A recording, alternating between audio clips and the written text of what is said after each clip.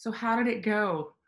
This was a question that I asked um, one of my clients recently who was part of a virtual panel. Um, after all, virtual panels, we're having a lot of them these days, right? And her response was, Well, it was okay. Not sure if that was the best use of my time. I'm like, Why?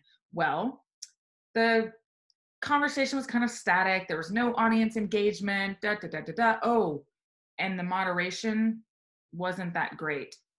Oh, I wish um, that this was the exception rather than the norm. But the fact is, is that most p- panels are lacking in value both for the audience and for the panelists because of the moderator and their ability to bring the conversation together. And there's two reasons why this happens. Um, sometimes organizations of all sizes and across industries will bring in a moderator that honestly doesn't have they might have the skills on paper but they don't have the skill at high enough level to strategically bring the conversation together. So it ends up being a series of monologues. Or scenario two an organization does all the work to put together all the pieces thinks about oh yeah we need a skilled moderator. They hire them at the last minute.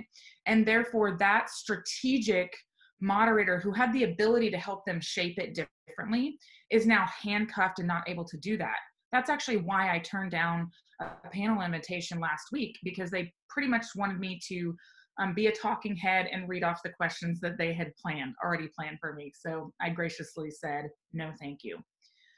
With panel discussions, it's best to think of them as an orchestra. You know, you have talent across all sections of your, the orchestra the lead violin, the oboist, the first chair trumpet, but without the conductor, you can't bring all of these voices together in a way that's cohesive. Um, the orchestral conductor holds the big picture. The orchestral conductor studies the score from the first note to the last note. He knows she he or she knows the way you know the different phases of the piece he knows the direction of where the music is supposed to go. And yeah oh yeah this is where the violin section has a really technical part and we need to not rush the tempo or the brass section here oh they like to really milk this and we need to keep the tempo going in order to move into this next section. Without a strategic moderator and their ability to do that it's easy for your conversation to stall out or to treat the individual sections of the orchestra as silos instead of a cohesive whole. So, what can you, what I know to be true is that.